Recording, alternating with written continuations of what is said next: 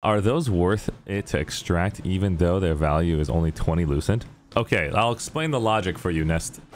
Nesty, this is this is just again my logic. Do you see these items right here? They're called trait extraction stones. I want you guys to have the same concept as I do, okay? And this is up to you guys, all right? If you can just this is the current that I've been doing. If you can say one trait extraction stone equals 10 lucent, then you will know for the future any item you wish to sell should be equivalent to that.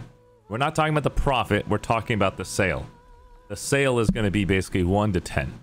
So if it's a 5 lucent, if it's a 5 trait, such as like I'll show you right now. Let's go to my storage and I'll show you three different items, okay? And these are the reason why they're in my storage is because they are not they're not that good. I'll bring a purple one out. I'll bring a blue one out and I'll bring a green one out, okay? So I brought one of each. I'll even bring the blue chest piece in case you guys think they're different. So we're going to go to trait extraction and you'll see it's five for a blue. It's one for a green. Okay. It's blue here. And then you'll see right here, 25 for purple. Okay. So if you guys can see that logistics, five for the blue weapon, 25 for the purple weapon. And your goal is to say, Hey, yo. if I can sell this at 10 lucent, which is only one trait stone, that means this weapon, if I sell the trait, should be 50 lucent. And if I sell this purple trait, it should be 250 lucent. And so the goal here is to make sure that you take advantage you take advantage of that sale. So how do you determine that?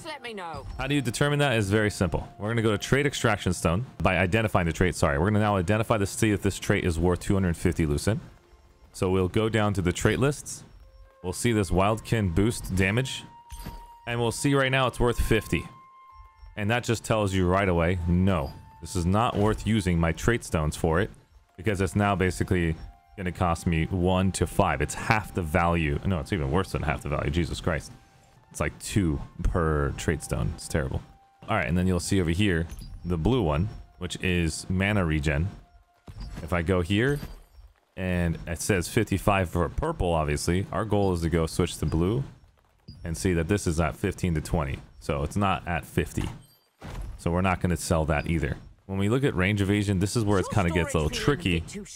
If this doesn't have it at 11, if it doesn't have it at 11, then that means well, the best way to identify it is you'll see right here the the the boots are at 250. So that means the per, uh, the blues need to be at 50, right? And then that means the the, uh, the the greens could be at 10. If you just want to think about the the logistics of that. So if we go to the feet here, I can sell this range evasion now and make value on it. Okay, do you see right now it's supposed to be a 10 for one? It's at 15. So this is a good trait extraction stone transfer. So now I'm going to go and sell this trait extraction stone. This one item right here at 14. Just one less. And I'm making value. Let's go check the chest piece here. And the magic endurance chest piece is 25. Not worth it. I'm going to put it back in the storage. If you want to know what I'm going to do with these later, I can show you guys later. Right now, it's time to duel. Hope that made sense to you guys. Let me know if you guys had any clue what I just said. If, you're not sure how if you don't play this game, did that make sense to you? Yeah, and if you don't know what the hell to do the day of, just come to my channel and we'll talk. I'll show you.